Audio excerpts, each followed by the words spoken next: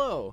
I am here to let you know that on Monday, April 19th from 6 to 8 p.m. Eastern Time, I will be streaming on twitch.tv slash 8bitbrigadier, uh, playing a bunch of my covers from uh, the last few years, um, all for charity. I'm going to be raising money for Direct Relief, which is an incredible charitable organization that I've worked with before um, through Zeldathon, and I'm a big fan of theirs, and I'm a big, big, big excite to to be raising some money for them uh, by playing some music.